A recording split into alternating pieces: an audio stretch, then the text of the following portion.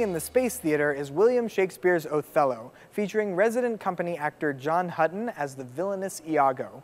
When I decided to do a story focusing on John, we asked the Denver Center's Facebook fans and Twitter followers to submit questions for the interview.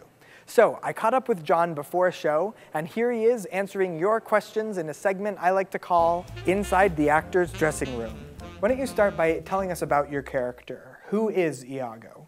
Iago is um, Othello's right-hand man, really. Uh, he's uh, the quintessential villain, for want of a better word. Um, he's an amazing psychological study. He doesn't look at the world the way most people look at the world. He doesn't have a conscience. He's one of the most fascinating characters in the Shakespeare canon.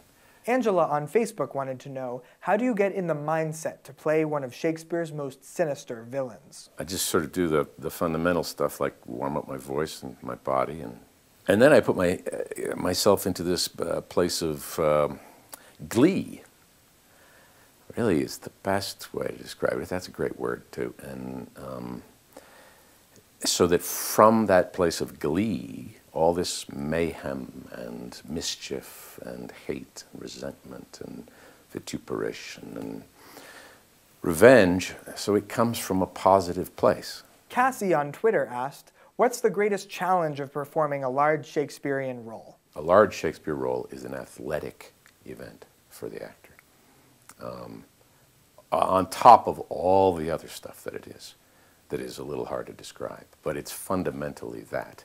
You know, when you get done with Othello, you're completely physically spent. And emotionally too, but just the breathing. it's, it's phenomenal.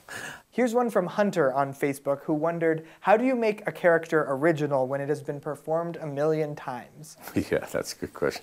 And the first thing you do is forget about that part. You know, you forget about that John Gielgud played it and Ian McKellen, that you're not going to the, the goal, of course, is just to play the character, not to create some definitive portrayal. And, and of course, I will my Iago is going to be different from anybody else's because I'm different from anybody else. And this production is different from any other production because it's a collection of individuals who have come together for the first time to do the play. That's really what it's about, and you forget about the rest of it and just bring as much of what you know about life and the things, the themes that the play is about uh, to the guy. And, um, you know, again, it's really you, you cross your fingers and hope for the best.